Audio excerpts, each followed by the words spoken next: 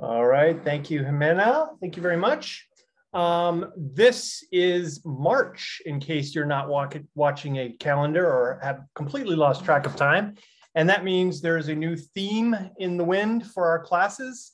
And this week with, uh, with March usually means you're gonna see signs of spring at some uh, stage in your travels around wherever you live, uh, flowers bursting out of the ground, things like that, trees getting a few buds.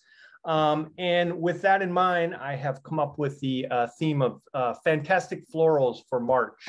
So we're going to be doing a lot of still life paintings and, you know, sort of garden theme stuff.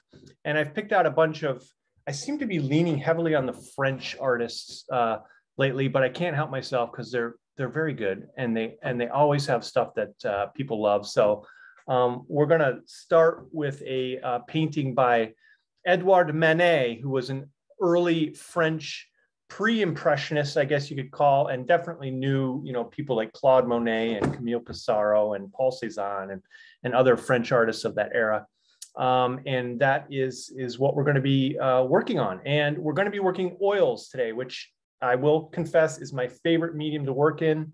Um, it's very fluid, very uh, flexible. You can push the paint around. Um, and hopefully I'll, I'll show you some tips that'll make that process a little bit more uh, palatable and, and digestible for you. Um, so we'll, we'll be delving into um, the wonderful world of oil paintings and uh, oil painting. And so with that, let's take a look at the supplies. And I've actually listed, um, sometimes I just sort of give you a kind of a general list. This is, is this is ex exactly what I'm going to be using today. Um, if you don't have exactly what I have here, um, it is not uh, the end of the world by any stretch of the imagination. Even if you don't have oils and you want to work in acrylics, this definitely will apply um, just know that your acrylics are going to dry a lot faster and you're not going to be able to push that paint around as much. So the colors I've got here are titanium white, uh, the Artist Loft. Uh, these are the academic level uh, ones. So they're sort of more entry level. Um, I think they're priced around four or five dollars a tube, so they're they're pretty uh, pretty accessible. Um, yellow ochre, raw umber, cerulean blue hue is the blue that I've I've got uh, brilliant red, which is kind of like a stop sign red, and then medium yellow, which is sort of the equivalent of like a cadmium yellow, sort of a nice strong primary yellow. Those are the, the six colors that I'm using. And then I've got some oil painting medium, um, a rag or paper towels. I've actually got both today. Um, and then some sort of container for putting your medium in if it's not already in a container. Um, and then a whole slew of different um, acrylic slash oil painting brushes. I use um, brushes for acrylics and for oils. There's some people that like to keep them separate. I feel uh, I'm very keen on making sure that my brushes are washed really well. So if you keep your brushes washed well, clean them up really good, um, they should be interchangeable between oils and acrylics. So um, I, I, don't have any issues with that. And then we're gonna need something to paint on. I put cotton or linen, uh, canvas, wood, paper. I'm gonna actually be painting on wood, which I'll get it into in a second. And then a disposable palette or a plastic palette. So that is your supply list. Um, this is the painting that we're going to be working on. This is Edouard Manet, and that is the correct spelling. I triple checked it. Uh, it's not Edward like we say here in the West. It's Edouard. It's French, so it's got a little uh, panache to it. And then flowers in a crystal vase from 1882. So if you want to Google that and pull an image off the internet, you can. Or if you want to screenshot this one, um, that is also an option and sort of set it off to the side. I've got a bigger version that I use um, sort of off to the side when I'm painting. Um, you might want to do the same. So that pardon me, is the painting that we will be working from. So have a look at it, screenshot it, and we'll be ready to go. Okay. And as always, if you have questions um, or anything, just put them in the chat and Jimena will um, uh, pass them off to me and hopefully we can uh, get your questions answered. All right. So without further ado, let's have a look here. So as I said, I'm painting on wood um, and I'm actually using, I, have opened this up here. I'm using these uh, wood art panel, panels. This is a, a five pack that you can get at Michael's. It's Artist Loft brand. And it looks like it's just sort of like a particle board with some veneer on it. Um, so they, they actually look like this. And so they look like, you know, plywood. So you can use plywood, you can use MDF panels, which is sort of particle board. Um, you just want something that doesn't have a ton of uh, really deep grooves in it, unless you want to incorporate that into your painting, obviously. Um, so these are great. These are eight by 10. Um, and I have put gesso on these. So this is the way I've done it. I've actually got a two-parter here. So this one here is, is the, um, the kind of the basic entry-level gesso um, coat. So I'll just do stage one. It looks like this. Stage two with a layer of the plain white gesso on it. Actually, I this is stained a little bit. It's got some yellow ochre in it, but it's a it's this is sort of a thinner coat. So I put a thinner coat of gesso on first, and then if I feel like I need to sand that down with some sandpaper, I do it. And then this one is the one I'll be painting on, and this is a coat of the professional white gesso. You do not have to do it in this order. This is just the way I've done it. Um, the professional is a little bit thicker. It's a little bit more heavily pigmented. It's got a little bit more body to it. Um, so it's two coats, um, one coat of this, one coat of that. You could do two coats of this or two, two or I would use three coats of this because this is a little bit thinner. But you're, you're definitely probably not going to be able to get away with one coat of gesso. You should always do uh, at least two coats. Um, and this one I have stained with a little bit of yellow ochre in, a, and all of this is acrylics. So this was, this board was probably about 90% this, and then 10% of the pigment, just to kind of warm it up a little bit to make it so it's not pure bright white. Uh, and if you've watched my um, stuff in the past, you know that I kind of like to get rid of that really, really strong white. Uh, it just makes for a better surface to paint on. So that is what I'm painting on. This is eight by 10. You can work bigger. Um, I probably wouldn't work too much smaller than this. Um, nine by 12 would be perfect. Uh, 12 by 16, something like that would be fine as well. Um, but, and it, it also does not have to be wood. It can be uh, canvas. It can even be paper. Just make sure that you've got gesso on there. Sometimes canvas will come pre-prepared with the gesso already on it, and sometimes panels will too, um, although that's a little bit more of a rarity to have that. Okay, with that, I think we're ready to go. We do so, have a couple of questions, Mike. Oh yeah, go for it. Um, Let's hear it. So one is, uh, if someone forgot to get linseed oil, um, what options do we have? Um, if you've got some mineral spirits, preferably odorless mineral spirits, that would be great. Um, if you have some sort of uh, oil uh, oil painting medium, which is basically synthetic uh, linseed oil, that'd be great. What I use, and I and I said, you know, get your container. I've got my little basil pesto container here, and what I've done is I've mixed about half linseed oil and half oil painting medium. This is uh, Liquin by Winsor Newton. So it's a 50-50 mix, and I like to mix them together because the Liquin, the oil painting medium, it generally speeds up the drying time. So if you use just linseed oil, that has a really, really slow drying time. So if we were, if for instance, if this were a two-parter and I use linseed oil as my medium, it's very possible that this painting could still be a little tacky by next week. Um, with this, with the with the medium in it, with the quick drying medium, the Liquin, um, that will speed the drying time up and it'll be ready to go. I could probably paint on this tomorrow with this being dry by tomorrow. So, um, you, but to answer your question, you don't necessarily need a, a medium. Um, I have a friend who's been a landscape painter for 30 years and she's never used medium. I don't know how she does it, but she does. She does. She, I think she just uses a lot heavier, thicker paint. Um, I like to start kind of thin and then build it up that way.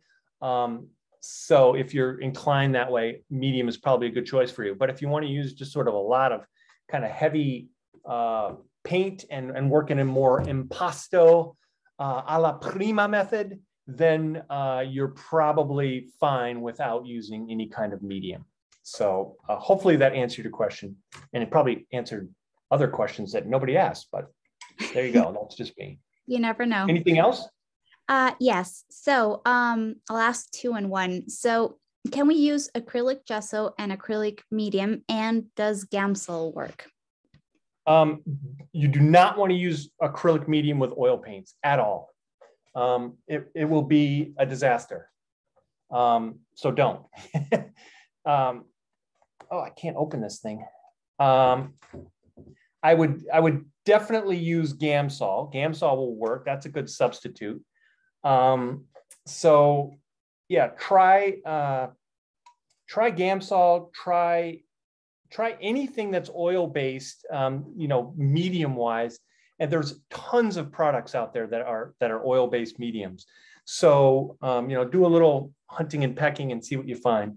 Um, but if you don't have it, you don't have it, and you definitely can paint without it. But it, it does make your life a little bit easier. It just gives you options for making things thinner. There we go. Right on cue. okay. Any other questions out there? Yeah, a couple more. Um, instead okay. of Liquin, what would you suggest for water mix mixable oil paints? In, instead of instead of water.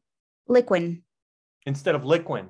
Yeah. Um, well, there's a lot of mediums that are made specifically for um, oil based or water based oils. I, to be honest, have not used water based oils a lot at all. I, I have heard that you can use basically anything that you would use with oil paints with them. Um, the only thing that's different with those is you can use water, from what I understand, to kind of thin them out a little bit. Um, so that does add one little wrinkle to the, the whole equation with water-based oils. But I don't want to get too deep down that well because I honestly don't want to give you bad information. And I, I truly don't know a whole lot about water-based oils other than what they do and what the idea is behind them. So I'm sorry I'm not better on that than, than I am, but there are so, limits to my knowledge. It's okay. It's all good. Um, one last question before we get started. Um, do we need to um, add any acrylic layer right now before uh, we start with the oil painting? Well, this, the, the piece of wood, which started like this and now is like this, has two layers of acrylic gesso on it. The reason I use acrylic gesso is it dries a ton faster. There, there are other things that you can treat your surface that you're going to paint with. Uh, acrylic gesso is by far the easiest, most accessible one. Um, but with oils, you should definitely coat whatever surface you're going to be painting on. Um, and I would say the absolute first one that you would need to coat, if you're going to work on paper, definitely make sure it's got gesso on it. Um, canvas would probably be second. You could probably get away with with uh, painting directly onto wood, um, but you know, if you make the next great American painting, it's not going to last very long. It's going to deteriorate probably in five years because oil is is basically a corrosive element, um, and it'll ruin the surface that you're painting on. So you definitely need uh, a gesso on there, acrylic based preferably. Perfect, and that's it. Let's get started. All right, let's get to it. So I'm going to start as I usually start, um, and that is with a quick little sketch. Um, and by sketch, I mean uh, uh, simple color here of raw umber, anything earthy. Um, it doesn't have to be raw umber. You could use yellow ochre. Um, you could use yellow ochre raw umber mixed. You could you could honestly use blue. Now, I don't know if you noticed that. This is actually something I really wanted to show you. So I squeeze that out. And if you look down there a little bit closer, you see how that's basically all just oil. Um, that happens a lot. So what I have is I've got a paper towel here.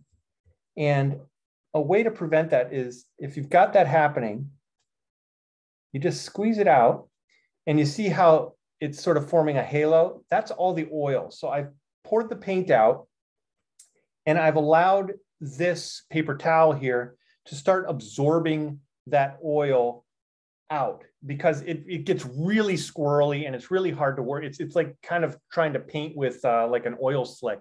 Um, it doesn't work very well. It's not very user friendly.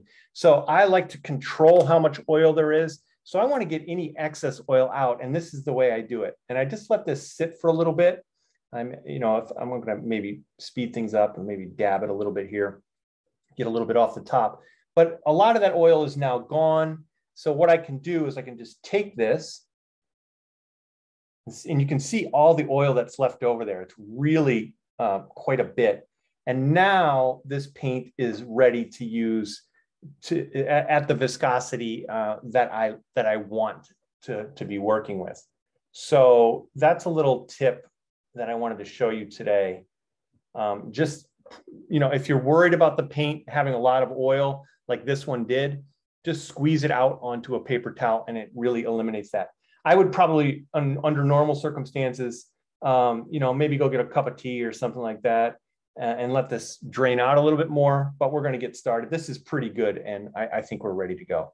So the brush that I'm gonna use uh, is sort of my typical starting brush. It's just a nice round brush and it's part of these sets here. These are, these have turned out to be really great. Um, they're very, and they're especially great for this stage where you're just sort of boxing things in and not worrying about too much precision. Um, this is a round, it's a synthetic sable. It's the size six. I've probably used this brush as much as anything else. Um, maybe this one and this one, the six and the four. I might actually use the four, so I'll put the six off to the side. Um, but these are really good. They're kind of like pens. Um, and, and, and what I'm doing now is I'm drawing essentially. So I'm going to do that. These brushes, the, um, the bristle brushes are a little rougher and I'll probably use those later, but both of these sets I have available to me. Um, you obviously don't need this and I will not use all of these brushes. I'll probably use maybe four or five at the most. Um, but these are both two good different types uh, of brushes that I'll have at my, my disposal. Just make sure they're not watercolor brushes. All right, so I've got my medium here. And um, I think what I'll do is I'll just take a little bit of the medium out, put it right next to my paint. Set this off to the side, put it somewhere where it won't spill and I'm ready to go. So I'm just gonna get a little bit of medium because I, I, like to have it kind of the consistency of about of ink. And I'm just gonna sketch, I'm gonna sketch out the composition here. And uh, by the composition, I mean, where is everything located on the page? This is a fairly straightforward painting. There's not a lot of moving parts, um, but I do have, uh, you know, kind of a slightly lowered composition. So, you know, the, the weight of the painting is on the lower end of the page. It's not perfectly centered. It's not off to the right. It's not off to the left, but it is a little bit lower. So what I like to do, and I don't worry about, you know, making uh, everything perfect at this stage. I'm just trying to find maybe the top and or the bottom. I could turn around and make it the top, but I'm not going to. Uh, like that uh, left side, right side. And I'm just looking at like, like how much space is over here and how much space is over here. It's pretty much, I'd say this, this central vase, the blue vase, I guess they call it, or crystal vase, not a blue vase. It's got some blue in it. I'm just trying to figure out kind of the proportions here. Is it equally divided into thirds? One, two, three. That's kind of the way I've got it.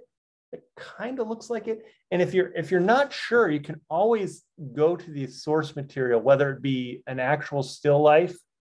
Um, it's pretty much thirds. So I'm going to go with that. And what I'm going to do is I'm just going to start dividing things up. Um, the, the vase itself is taller than it is wide. So compositionally, that's kind of be going to be one of the primary things that I do right off the bat. And now I'm just going to sort of figure out kind of roughly where things lie here. I was way off with that. The great thing about oils, oh, look, it's still wet. I can just get rid of it. No problem at all. With acrylics, I'd be like, you know, I, I got three minutes before it dries. I gotta, I gotta hurry up. This one, I don't worry about that so much. So you can do a little bit. And you notice, you notice how I'm holding the brush here. I'm holding it really loose. It's, you know, I'm not writing an essay. This isn't a college, you know, it's, it's not a college uh, literature course or anything like that. I'm not, I'm not writing an essay. I'm, I'm just doing quick, straight kind of shorthand notes um, of, of where things are going to go. It's kind of like, uh, you know, like a, a court those people that the stenographers that do it they do everything really fast and you know you look at it and it might say the accused stands here before us blah blah blah and it might be like three three letters or three lines of of just you know very shorthand version of what's being said. That's kind of what we're doing here uh, visually.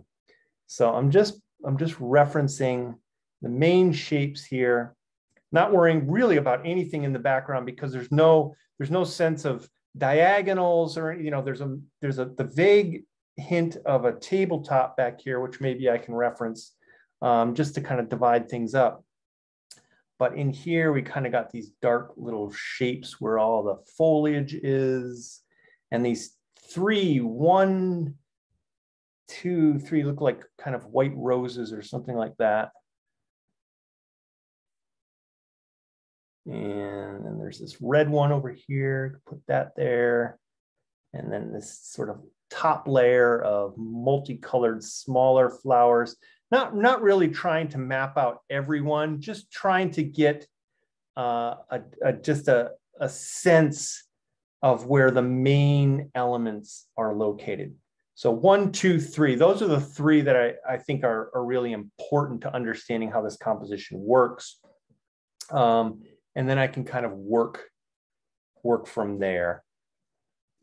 So my my um, yeah, oh, go ahead. Go ahead. Sorry, we have a couple of questions. Um, so the first one is, uh, could you repeat the name of the medium you're using today, please? Oh yeah. So my the medium that I use is is Liquin, which is a really common one. It's a product by Winsor Newton.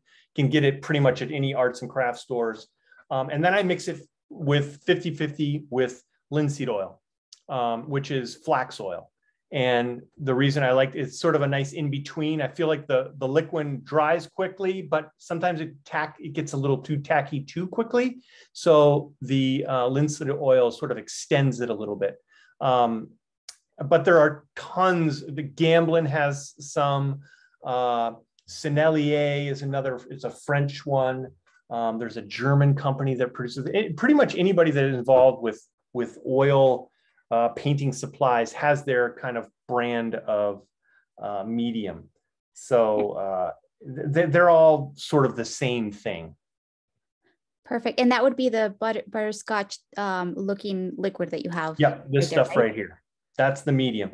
And this is particularly yellow because it's sort of been sitting in a box for a while. I haven't I haven't used this one. When you leave it out, when it's exposed to light, it gets clearer. So it's oftentimes will be will be thinner. This is as pretty much as dark and as thick as it'll get.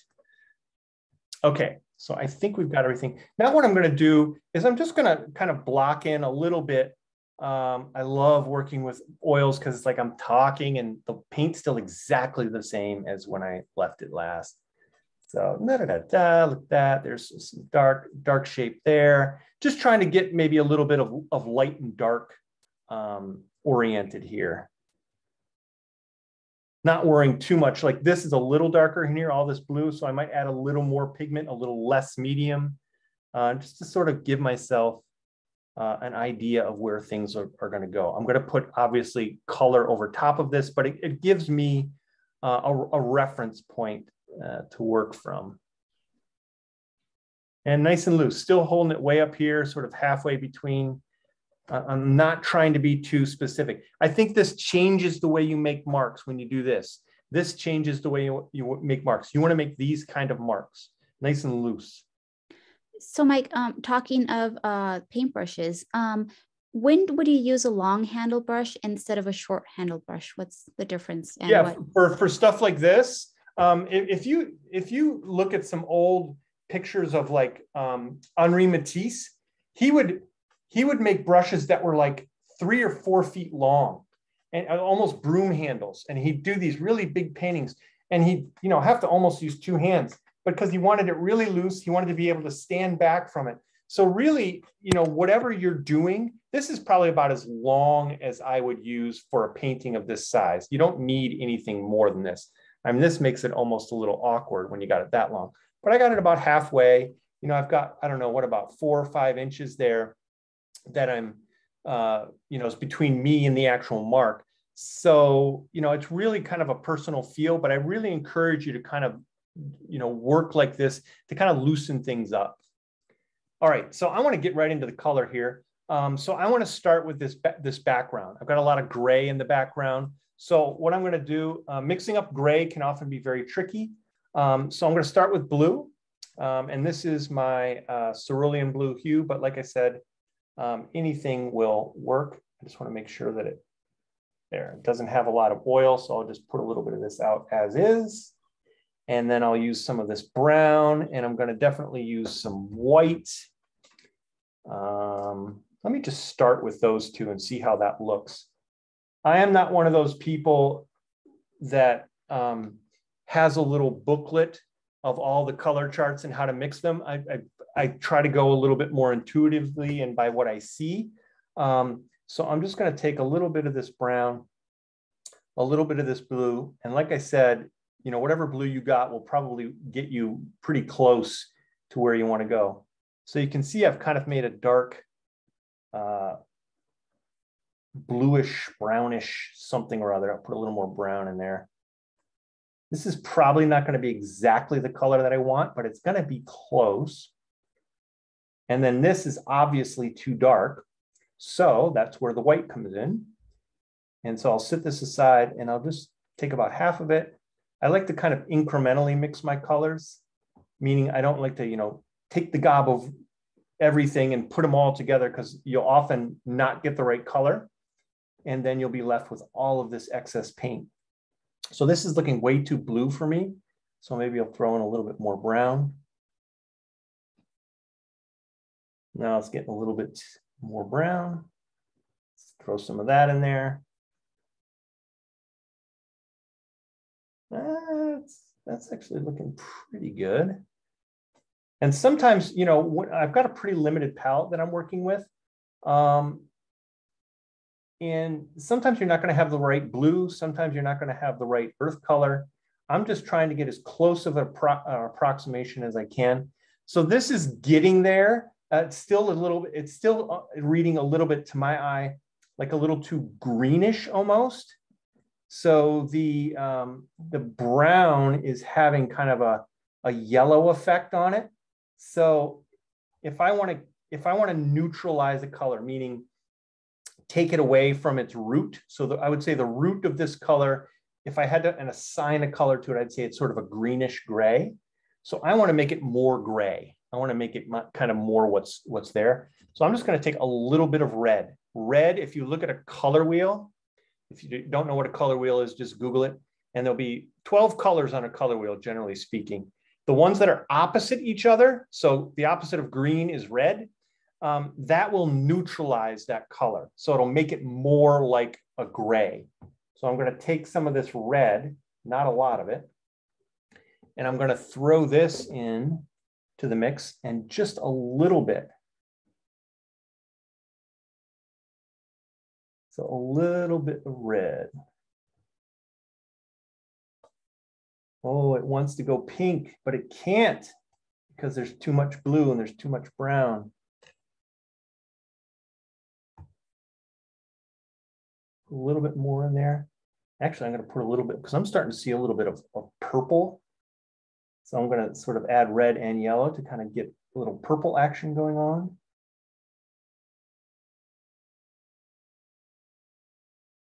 Try a little bit more. These get a little darker, I think.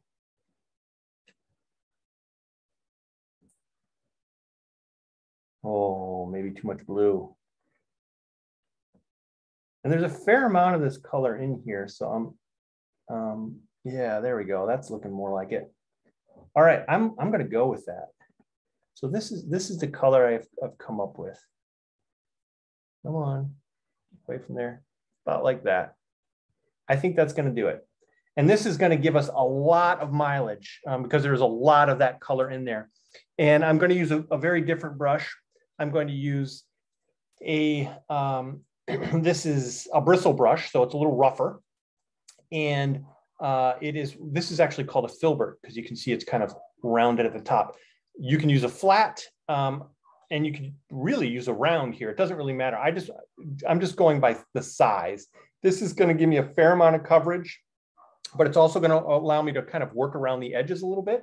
So I am going to start laying this in. And if you look at the painting that we're, we're referencing here, there is, oh, that's pretty good.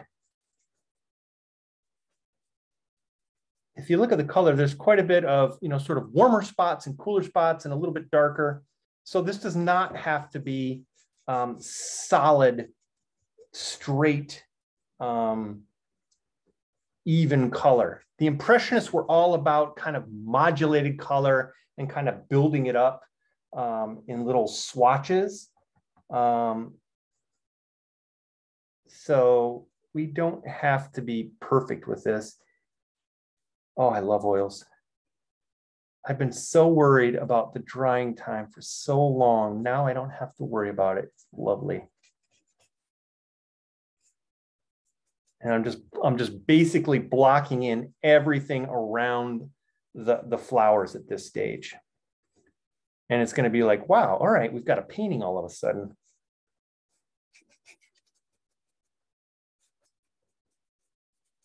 Allowing some of that uh, kind of warmer background color to kind of creep out there a little bit. That's a pretty good match. I'm throwing a tiny bit of medium in there. Um, but my sense is the, the uh, Impressionists and, and certainly this painting, this was done in a very kind of free flowing, uh, heavy, direct painting kind of approach. So there's, there's not a lot of sort of working from dark to light or any kind of classical um, methodology to things. It was it was much more kind of a spontaneous um, application of color. Trying to paint and talk can be difficult sometimes. I lose my train of thought, I apologize. Mike, um, we have a question yeah. here. Um, the sets of brushes that you showed um, earlier, are they by Artist Loft? They are. They're Artist Loft. They're, I think they're about 10 bucks a, uh, for an entire set. Um, and they've been holding up great. They're cheap. Um, they're, they're not, you know, they're not going to last you for 20 years, but they are great entry level brushes. Um, really, uh, you'll get you'll you'll definitely get your money's worth out of them. Perfect. Thank you. Yeah. And now here we we start to kind of fade into sort of a uh, a a lighter a lighter tone, and it looks to be a little bit warmer too. I'm just going to throw this shadow in here, and this shadow is a little bit bluer, so I'm just going to take some of that blue and kind of pull it into that gray a little bit. There we go Something like that. And now I'm just gonna start throwing some of this white. I know that I'm probably gonna warm this up. Um, and, and with that in mind, I'm gonna take some of this yellow. You might say yellow, what's he talking about? I don't see any yellow in there. I'm just trying to read the temperature. And, and this, this reads as a little bit warmer than this. This is blue, this is definitely a cool color back here. This is definitely a little bit warmer. I think there's probably gonna be a, a little bit of yellow in there and I'm going to put my yellow ochre. So this pretty much gets all of the colors that I have at my disposal. And I'm going to put the yellow up there with my other earth tone, the uh, umber. So my earth tones and then my three primaries kind of like this. There is a little bit of method to this madness, but I'm not a huge like get your palette perfectly organized kind of uh, painter either. So now I'm just taking some of this white and I'm just gonna kind of blend this in.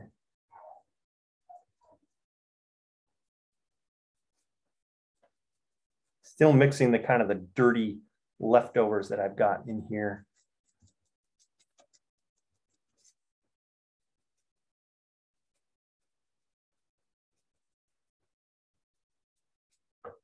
A little bit more of that white. White will go really fast. So you're gonna have to replenish it fairly frequently.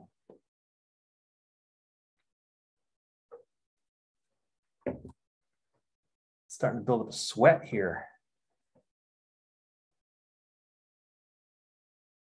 Right. All right, so now I'm, I'm getting a lot of kind of residual um, of this here. So I'm just gonna take my, just gonna not completely clean it, but I am going to get out a lot of the heavy paint uh, that's on there. So now just going straight white. So it's still gray, but it's kind of a lighter gray.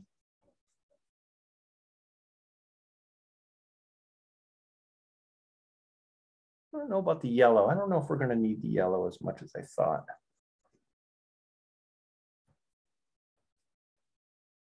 A couple lighter spots up here. I'll kind of throw it into the background. We got everything blocked in. There, there is my, there's my stage. I could, I could probably fiddle with this bit a little bit more, um, but I want to get to some other stuff here. There's one little shadow under here that I want to uh, get sorted out. So it sort of sits that vase on top of it. Um, what I might do here is I might just transition right into this area um, where I've got all this light. I am going to change brushes um, because this brush has really gotten inundated with this gray. Don't be afraid to move around with your brushes. I mean, I think that's a, a big trap that people fall into. They have a brush, they're painting, and they just sort of use the same thing. And by the end, they got sort of a nice gray like this, and you've got no real um, sense of light and dark or anything. It's kind of all pulled into the middle. So, you know, pull, pull some new brushes into the mix. I'm going to use a little bit of this warm yellow, and then I'm going to throw a little bit of this gray in here. And what I'm doing is I'm just, I'm just grabbing some of the light in here. Not trying to get it perfect at this stage. Uh, just again, blocking things in a little bit. So Mike, okay. we have another question here. Um, yeah. Could you recommend a bristle brush set? Yeah, I'd, I'd use the same bristle brush set that um, that I was showing you earlier. This one right here. It's the same thing, but just instead of these synthetic sables, you've got a whole array of bristle brushes. And I think you get, I don't know, 20 brushes or something like that. And that's what I'm using right now. And they've worked great. Um, and they're they're also at Artist Loft. They're really cheap. Um, should have no trouble finding them. They're always in stock. I mean, it's just sort of a standard uh, standard issue item. Perfect. Thank you. Sure. All right. So what I'm going to start doing now is I'm going to start um, what am I going to do? I've got two, I've got two conflicting things here. I'm going to, I'm going to, I've got some white on my brush. I'm just going to sort of lay in some, some whites to start with. So I'm just going to put in a little white, a little bit of red, sort of gives that sort of pinkish hue to it. There's a little bit of that over here. So I'm just going to block this in. And uh, once again, I'm, I'm, you know, sort of towards the middle of my brush, nice and loose. These are impressionists. They're not trying to fool you. There's, these aren't photorealistic or anything like that. These are paintings. They're very expressive. They're very loose. Um, so uh, have fun with the brushwork and let some of that underpainting uh, come through. Now this one here, this, this white one has a little bit more gray in it. Um, so what I'm gonna do is I'm gonna go back to that brush that I had, that was my gray brush, and take a little bit more white.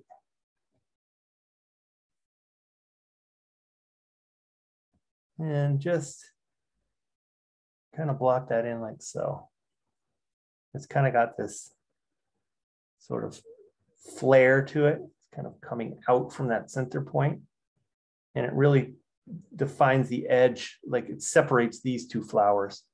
And then around the around the end, around the tips, it gets a little bit brighter. So I'll just use that other brighter white brush that I've had Let's throw some of that in there. All right, that looks pretty good. So these are my white brushes. I think I'm pretty good. Oh, I got another one up here. Let's use that. Throw that up there. So these are all, I'm sort of working from light uh, to dark, which is slightly odd, but it'll be, it'll work. Um, now I'm going to throw in some greens. So I'm going to use uh, the, the brush that I originally used to lay in with the brown to do the, the quick color, the quick uh, sketch. I'm going to take a little bit of blue. I don't have a green here. I actually do have, if I need to cheat, I've got this little 24 pack oil painting set, which is also very cheap, has a ton of colors, um, 24 different ones, like mostly earth tones and then sort of secondary colors and maybe primaries. If I need to, I'll use that, but I'm gonna try and mix everything with this really limited uh, palette that I've got here. So I'm just taking a little bit of this cerulean blue hue, mixing it with the, the what is it called? Brilliant yellow or medium yellow is what they call it. And I'm just gonna start, actually, that seems a little too intense, um, meaning a little bit too green. Like this is sort of more of a muted green. So I'm gonna take some of this brown. All right, so there's that. So now I'm just gonna kind of block in some of these nice, that's a pretty good match. I don't know, maybe I've stumbled upon the lost palette of Edouard Manet because all these colors seem to be doing pretty good. I doubt it though. He would not have used a color called cerulean blue hue. He would have used cerulean blue, the actual cerulean blue. Whenever you see that, I've, I've mentioned this a few times, but whenever you see like hue, like cadmium yet yellow hue, it means that it's made to look like cadmium, but it is not actually got cadmium in it. It is, is kind of like a, a laboratory substitute for it. And generally when you see hues, um, those are made for colors that have very expensive pigments in it. So cadmium is very expensive. Um, uh, cerulean is very expensive. And so you you'll you'll see painting companies go, oh, let's let's make them think we've got the really expensive colors, and really they're just kind of usually pretty accurate. I have to admit, pretty accurate imitations of the color they're trying to get you to believe that you're using. All right. So I'm just kind of laying in a little bit of that green. All right, that looks good. Um, I'm going to get another brush here because I want to move into a completely different realm of colors. And I'm going to use, uh, I'll use a sort of a smaller, flat um, bristle brush. But I think either one would, would actually work at this stage. And I'm going to use, um, I've run out of my blue. I'm going to try and get these blue little flowers in here. And this blue, Somebody see that blue? Did that make it into the picture? I think it did. Yep, I can see it, or we can see it. Plenty, no problem. Cool. All right, so take that. This blue up here is not this blue here. I think it needs to be a little bit more dull. This is a, probably a little bit bright. So I'm taking a little bit of my earth tone, raw umber, kind of mixing it with it. And I think that'll work. So now I'm just going to go right over my brown conveniently enough. And I mean, you see how I'm, I'm trying to kind of mimic uh, the, the, pattern that they're making. Some of this looks a little bit dark. So I'll just take a little bit of white and get that blue a little bit more light. I'm using some really heavy, let's get a little close up here. This is starting to get interesting. You're getting, you're getting some heavy paint in there, some what's called impasto paint, thick paint. Uh, any more blue? Let's throw a little bit in there. There's a lot of blue down at the bottom in the crystal. So I'm gonna kind of add that in here and just just trying to follow follow the contour of the glass here, just kind of goes around like this. Just follow some of that throw, throw in a little spots like that. Any more blue in here? Looks like a little bit more of a green kind of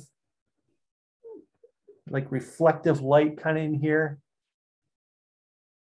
And this is the part everybody loves when you when you do reflective glass.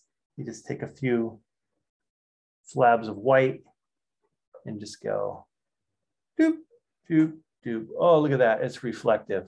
That's awesome. Easy to do. And the Impressionists were really good at it when they did still lifes anyway. All right, what else we got here? Let's do some, let's do some reds. I'm gonna get to another brush here. I'm gonna use a round, this is a round bristle brush. This is sort of one that's not part of the kit, but there are ones that are exactly like this in the kit. Um, let's do a little bit of kind of a the yellowish, earthy yellow, maybe a little bit of, yeah, let's throw some of that in here. I've kind of added a little, uh, I got to add a little heft to my flowers because I, I made this part a little bit too big. It's all right. So I just added a little red to that. See if there's any more. Hmm. And then we got this over here, which is sort of a reddish, almost a purple.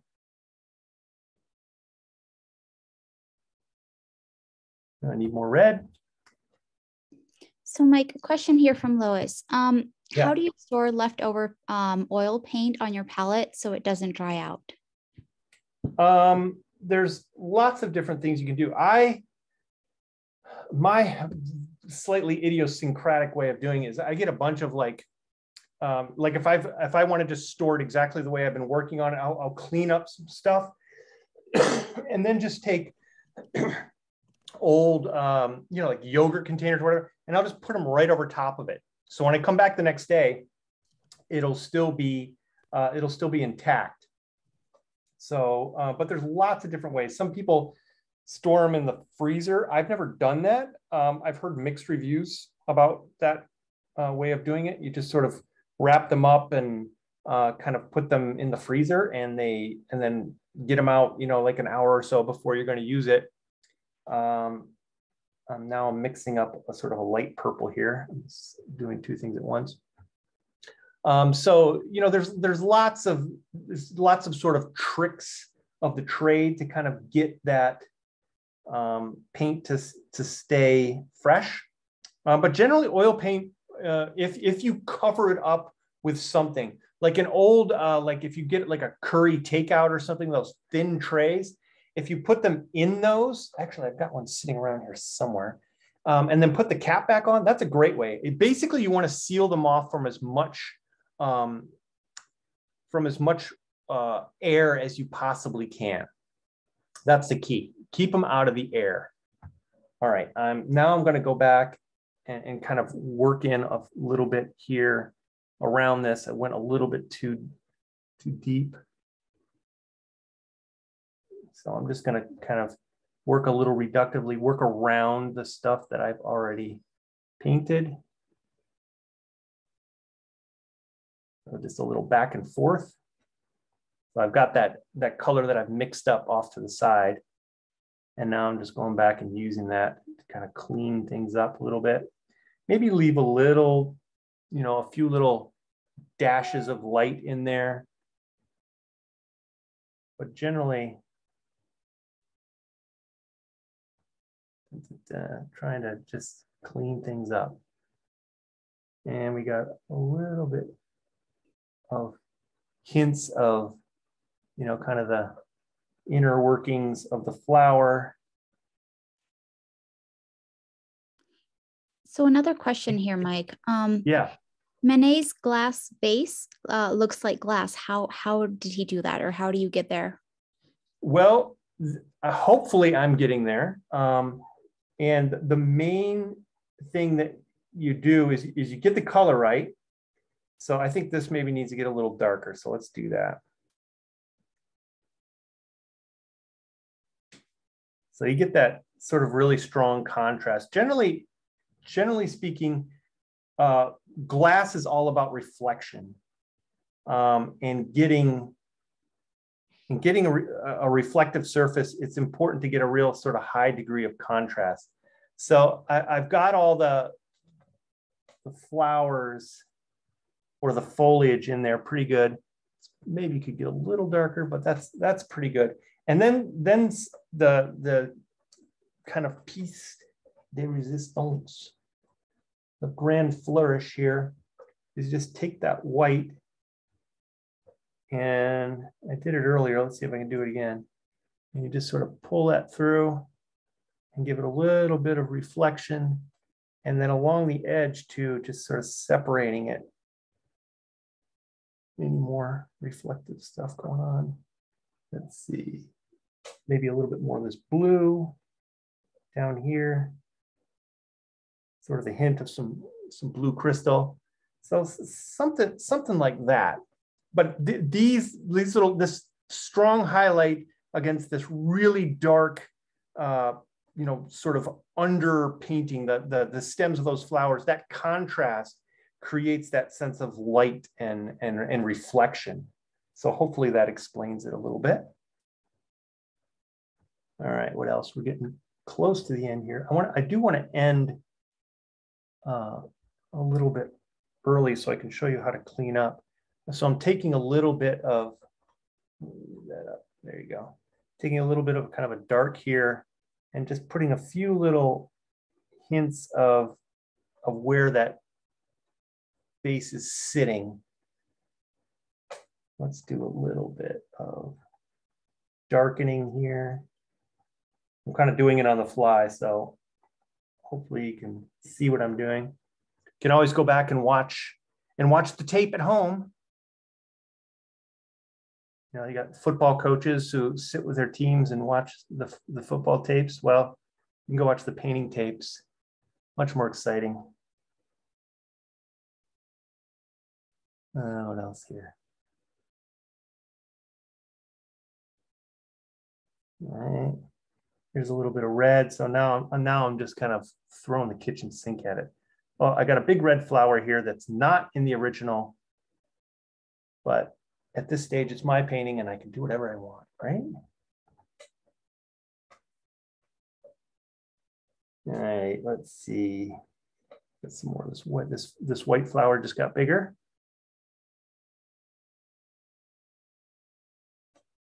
That's a nice sort of loose impressionistic hint of spring happening here.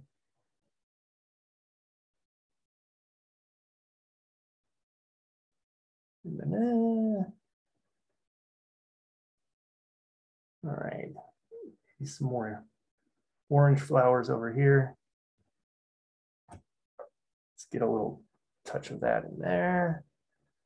a little bit right up there. I don't know, I'm feeling that that's pretty close wipe off my excess paint. I'm gonna go back to this blue.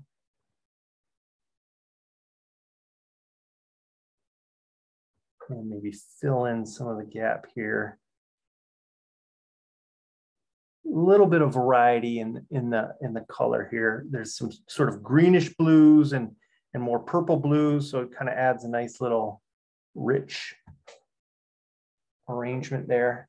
I don't know. I'm, I'm, I'm feeling pretty good about that. This is, I think this is the first that I've actually finished the painting before we we have time. I, am not finished. I would I would fiddle with this, but there is something that I do want to show you before um, we go on. So I'm going to widen this out a little bit. Okay, so I got this big mess of paint. Um, I want to show you how to clean your brushes without using solvent. Uh, a lot of people will just sort of throw their their paint brushes and um, throw them in solvent and do it that way. That works fine. It, it's totally effective. It's been done for thousands of years, probably, um, certainly hundreds of years. Um, I'm only going to do one, so I'll just make this quick. The first thing you do to clean your brush is get as much paint off as you can just by doing this, just by pulling it out and move it around. Don't get in the dirtiest part of your rag and just go like that and expect it to get clean. Move it around, move it to different areas and really pinch it out. I mean, you're not going to get it all this way, but this will save you a ton of uh, cleanup down the road. So that's pretty good. I don't know about 10, 15 swipes here. And then this is this is the hot tip of the day here.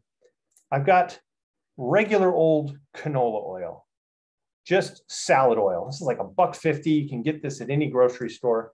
Um, you can use linseed oil because linseed oil and canola oil are basically the same thing, uh, except different uh, um, types of plants are used to make the oil. Um, and I'm just going to do it right out of here because, well, you can't really see it, can you? I'm just going to put it, I'll put a little bit in here. So I'll, I'll put some in my little tub. Not much, you don't need much.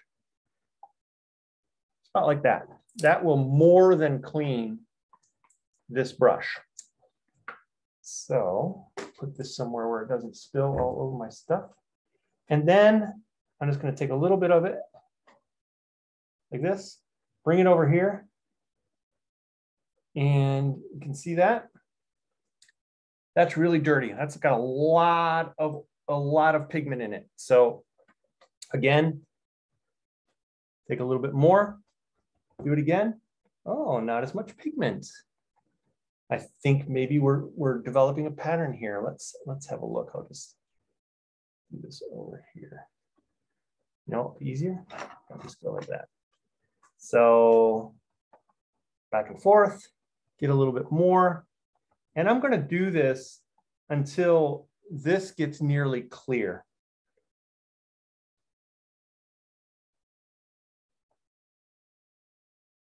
And you have to remember, I mean, some people look at it and go, oh, it's still blue. Sometimes paints just stain the uh, surface or the um, material that you're using. There is no pigment coming out of this brush now. This brush is probably as clean as you're going to get it using the oil. I'll do one more just to do overkill. So that, that brush is, is clean. Um, but if you look at the brush, it still kind of looks bluish. Don't worry about that. Um, that's to be expected. This is a clean brush, but it's not done. You're not done yet. The last thing, and really the most important thing at this stage, is just to take, just get a little soap, like hand soap, put it in your hand, and then just go back and forth with a little bit of warm water and do the same thing you did here. There'll be tons less pigment, but there'll be a tiny bit left in there. Um, and that is the finishing touch because you do not want to leave oil on a brush. The oil is the thing, one of the things that will ruin your brushes. So just do a little sort of lukewarm soap and water, clean that brush off, and you're done. And this, this will save you hundreds of dollars over the course of your life or the course of the life of your brushes um, if you clean your brushes, uh, I, I don't know how many times I've seen students, you know, first day of class say, oh, I got all these brushes and they all bring them in and it's, you know, they're like hot pokers. They're just it's like solid metal because they've not cleaned their brushes and they feel, you know, they feel like somebody sharpened a stick and they're not, the bristles are no longer any good. Clean the bristles, keep them soft, soap and water to end after you use the oil and your brushes will last you a good long time. So there, there's another hot tip of the day. All right, are we ready for a little uh, show and tell perhaps? I think I've I've gotten as far as I can on this one. Yeah. Hopefully you've gotten a little sense of the uh, of the uh, impressionist approach to things. Let me just clean my screen up here. Okay. So I was just um, putting in the chat um, where you can sign up for Mike's uh, next three classes in March. Oh, oh yeah, great. Excellent. Yeah, there's uh, this theme is continuing for the rest of the month. Um, there is a premium class, I think, in two weeks, which is not free. Obviously, costs a little bit of money. I think it's 20 bucks. Um, and we'll look at Van Gogh in that one. Um, but the other ones are available. They're all available actually to on the uh, the website. So have a look. And also, um, if you want, if you're interested in these classes and you want like maybe a little bit more uh, extensive stuff and maybe a workshop setting, um, my, uh, I'm trying to point down there, the website there. If you go onto my website and you want to just just sign up to get on my uh, mailing list, and I'll I, will i will do more extensive workshops uh, based on some of the things that we do here, but you, you, can read about that on, on the website. But feel free to sign up for that. And also my Instagram is down there as well if you want to see some of my work and and on my website as well. All right. Awesome. Um, okay. Here we go. so maybe we've got a few people that want to hold up their uh, painting and uh, show the world yeah. what they've been up to for the last hour. So we have um, Sarah. Sarah, all right, nice. Nicely done. Just went with the, the basic outline of the flowers. That looks really good. Looks like you did a little kind of nice textural swirl with your uh, with your brush as you were doing that. That looks good. Very nice. And here we have uh nice job, Sarah. I will remember. Oh, there's Diane. Diane. AKA Ed's iPad. All right. And very nice. Oh yeah. You definitely got that sort of reflective quality and the and the vase sitting down nicely on the table. Really good. And Shantapa. Oh yeah, very nice. Really nice. Got the reflective quality as well. Excellent. And you can see you could work these more and you know, this is just uh, the way I view this is I probably could work on this for another hour, another hour and a half. So if you want to continue after after the fact, you can just sort of dial up that picture online and then get it there and keep working on it. But that looks great. Very nicely done. And then yeah. we have Jane Janowski. Um, oh yeah, there we go. Maybe put that a little closer to the screen, Jane. Yeah, there we go. Very nice. Good. Oh, you did a different vase. Is this your own setup? Sort of looks. I like the I like the uh, the big bulbous vase there. Awesome. Yeah, nice. Very cool. Very subtle uh, shift in value between the table and the and the background. That worked really well. Nice work. So Jane um, Vandervelde. And maybe move that one back just a tiny bit there, a little bit more. Yeah, there we go. Oh yeah, nice, good, good, nice blocking in. You got everything looking really nice, and you're working a little bit bigger, so that's nice. That must be liberating. Whoops. About that. um, yeah, that looks really good. Nicely done. Little pop of that red on the bottom right there looks great. You're you're like well, I guess our right, yeah. Nicely done. Sorry, um, Rebecca. Yeah, one second. Sorry, Rebecca Haynes. Oh, you a nice painting in the background there too. Who do we have here? Rebecca. Oh, nice. You want a little more blue in the background. I like that. A little more expressive, a little more uh, Henri Matisse or uh, maybe even a Van Gogh kind of approach in terms of the color usage there. Very nice. And Tia. Excellent job. Tia, oh yeah, very nice. Oh, I like the brushwork in the background. Really loose, very expressive. Nice job. And, and that um, texture in those in those white pink flowers looks really good too. Kind of really comes out at us. Good. Sorry, I see Sib. I don't know if you're trying to hold your painting up. Um, let me see right there. Oh, there we go. No. Sib, what do we got? Sib. Oh yeah, nice. Okay. It's a little a little darker, a little moodier setting for your for your uh, still life there. I like that. Looks good. It's not quite spring where you are apparently. It's a little it's sort of the depths of winter maybe. Who knows? looks good. Very nice. Okay, and I think that is it for today. Awesome. All those are fun. Um, we're gonna we're gonna definitely be looking at uh, artists of that vein for the rest of the month. Next week, I think we do a Camille Pissarro garden scene, um, and then Henri Fantin-Latour is the last one we do, um, and then a Van Gogh for the premium class. So so be sure to check those out. And thank you all again. And um, I hope to see you next week. Have a great week and see you later. Nice work, Bye, everybody. Everyone. Thanks, Mike. Bye.